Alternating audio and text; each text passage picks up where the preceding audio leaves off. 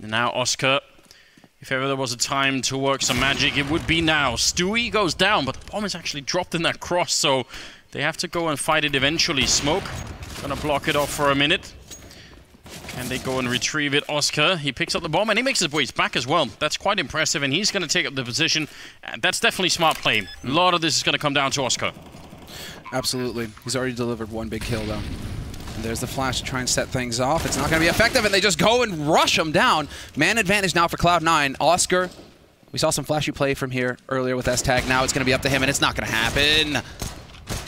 What? Are The pistol, the headshot as well, takes all three at the end. That's so nuts. I didn't believe Anders. I didn't think it would happen. How did they mess that up?